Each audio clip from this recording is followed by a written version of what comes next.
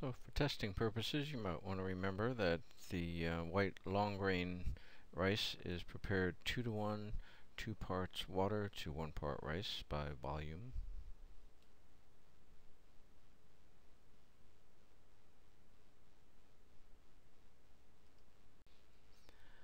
Most dry beans need to be soaked in water before cooking. Soaking softens and rehydrates the bean, which reduces the cooking time. After soaking, beans are most often simmered or baked in a liquid until soft and tender.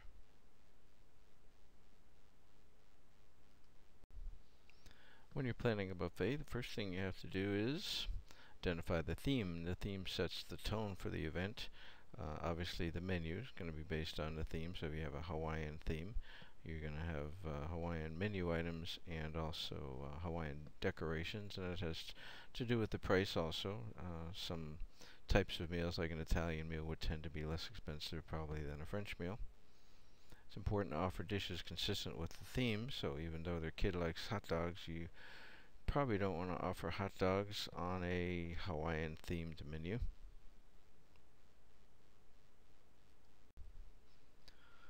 Which table is used for setting up a snake-like buffet?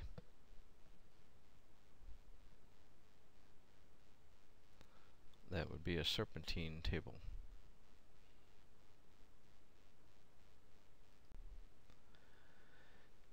Technique to serve large groups efficiently is by using a double-sided buffet. Uh, don't forget when you have a double-sided buffet, to be double-sided it has to have uh, tongs and appropriate serving equipment on both sides. A lot of times you'll go to a buffet and uh, you're waiting for the person across from you to finish with spoons, so that isn't really a double-sided buffet.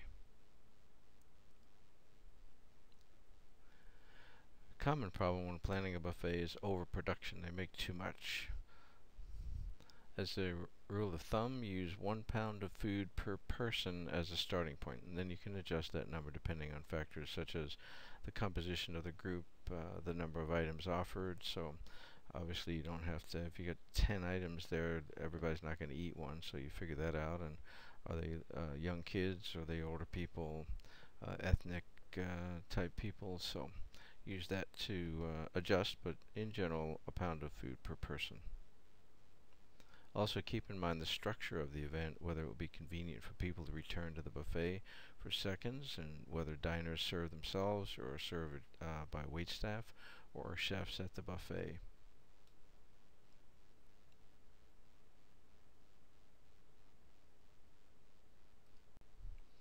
Choose the plate, consider the sizes and shapes, colors, patterns. Most plates are round, but oval plates, rectangular, square, triangular plates are becoming more common. Go to the uh, food shows these days, there's an amazing assortment of uh, beautiful types of plates. Usually they tend to be kind of small where the food goes, uh, which is good. Fancy plates, small foods, good profits. They vary in size between 4-inch bread plates to huge 14-inch chargers, or a base plate. What's a charger? That's what goes under the plate, so you would put a plate on top of the charger. Plates should be composed to make the food appetizing. So strive for a well-balanced plate uh, composition that can be achieved with careful consideration of the shape, colors, the textures, the arrangement of the food on the plate. Remember the customers consume first with their eyes, so pay attention to that. Don't just slap the food on the plate. Uh, do a plate before you start uh, plating up all the meals, and uh, so that people can have a sense, that your chefs can have a sense of what it's supposed to look like. Make it look pretty. Balance between overcrowding the plate and leaving large gaps of space. Choose a focal point, which is typically the highest point on the plate or the, the part that's closest to your eyes and build around that. Make sure to cook the food properly to ensure the best visual presentation. The best uh, way to make a meal look good is to cook it properly as far as doneness, brownness, etc. Always inspect a plate or a pan before it leaves the kitchen. Make sure it's not sloppy looking. Make sure you don't have like giant chunks of meat that people look at and it turns them off. Make sure it looks good. Colors, textures, shapes, and arrangements of foods on a plate can be improved or highlighted by decorating a plate with herbs, greens, spices, and other garnishes. The biggest objection to garnishing is when it overwhelms the food on the plate. It should enhance the appearance of the plate. It shouldn't be the appearance of the plate.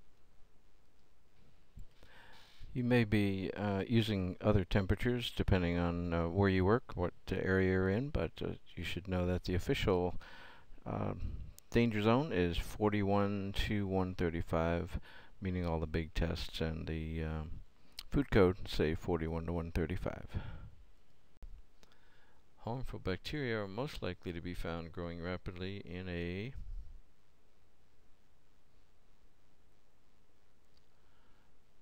hamburger patty. Why is that? Remember you have to cook them to 155 because you're mushing all the food and the bacteria around and so uh, that's going to get warmer faster and uh, there's a lot of uh, opportunity for cross-contamination in a burger as compared to the rest of the items there. Make sure that all work surfaces, cutting boards, knives, hands, and other equipment used to prepare food products are clean and sanitary. One method is to immerse the item in 171 degree water for 30 seconds. That would be where the water is providing the sanitizer, not any chemical. So 171 degrees for the sanitizer, uh, for water in the sanitizing tank of a three compartment sink. Cooked food should never be placed in containers that were used to hold the raw product. You always put them in fresh, clean containers.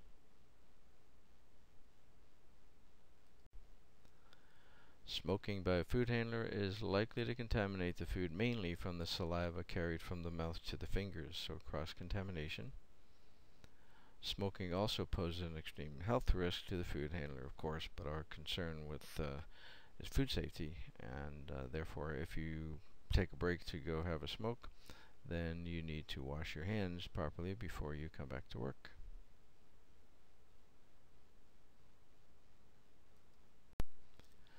Best method to defrost frozen food is to gradually thaw it under refrigeration. So th thought about it ahead of time and you defrost it in the refrigerator. Avoid using water to thaw. If you do, you know it has to be cool running water. And avoid allowing product to thaw at room temperature.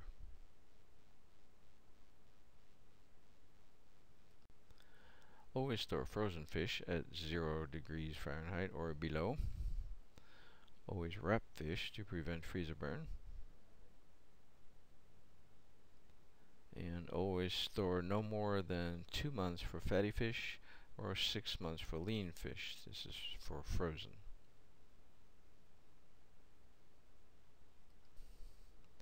Most ben uh, vegetables benefit from cold storage at temperatures between 34 and 40 degrees Fahrenheit.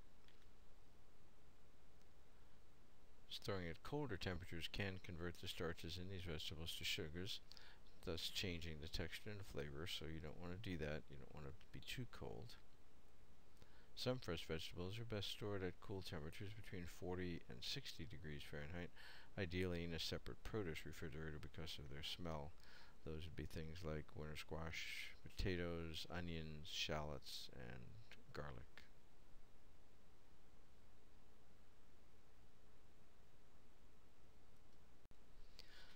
Just the slightest little bit of uh, HACCP information to introduce you to the term hazard analysis, critical control points. Of course, we have a uh, certification for that, which is one of the really important ones.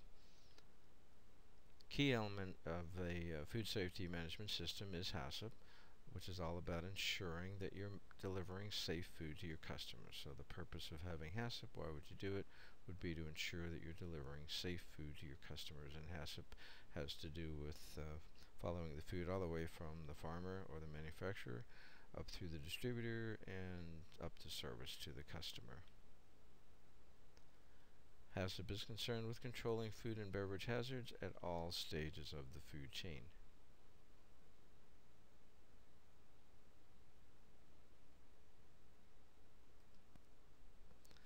These abbreviations are pretty straightforward. And pretty much everybody knows them, but we're going over them because not everybody knows them.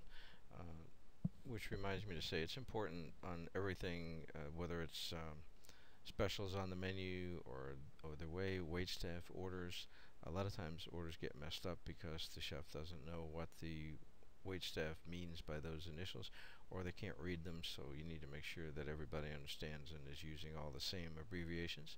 So pound of course is LB, tablespoon, TBSP, or sometimes a capital T, teaspoon, TSP, ounce is OZ, cup is a C, quart is of course QT, and gallon is GAL.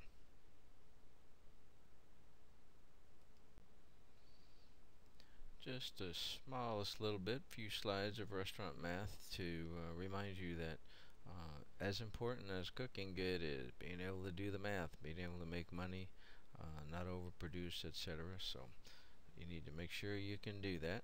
So one case of breaded chicken portions contains 20 pieces. Serving size is 2 pieces. You're serving 80 customers. How many cases should you order?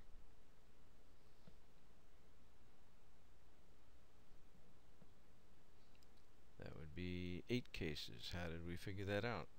Well, you have 80 customers. Each one's getting 2 pieces. That's 160 pieces. 160 pieces divided by the 20 pieces per case equals 8 cases. Easy for you. You're serving 7 ounce portions of prime rib to 150 customers. How many pounds do you need to prepare?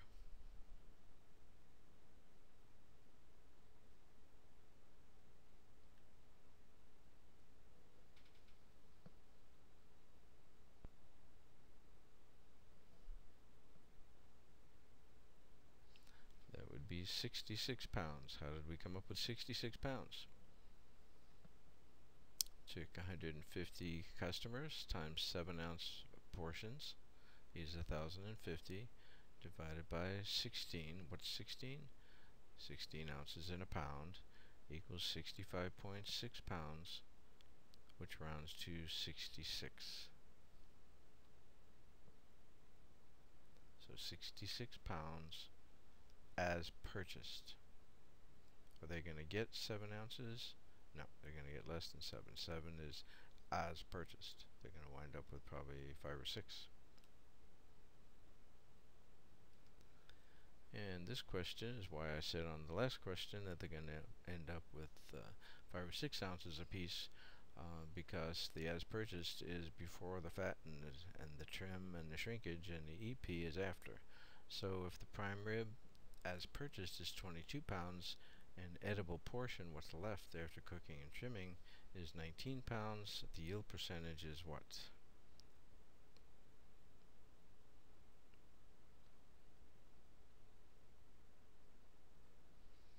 That would be 86% so 86% of what you started with is what you ended up with. Where did the other 14% go? It went down the drain in the garbage can. You trimmed shrunk as you cooked it. So very simply, you divide the little number by the big number. If you're looking for a percentage, you always divide the little number by the big number. So the little number is 19, the big number is 22. 19 divided by 22 is 86%. So if you bought 100 pounds of prime rib, you wound up with 86 pounds. Which of the following would be the most useful for measuring out 2 pounds of sugar?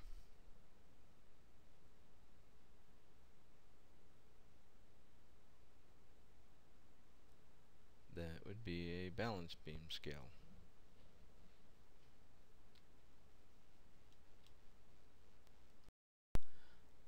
That's it, we're done. Thanks for taking the course. Any questions before you test, send me a note or give me a call you're going to do now is you're going to go to the Global Food Service Institute certification examination for certified uh, culinary professional. And uh, you'll pay. That's uh, hosted by NECB so you're going to follow the uh, prompts that I'll be giving you to uh, get to that site take the test. Good luck. Any questions be sure to give me a call before you take the test. Thanks a lot. Bye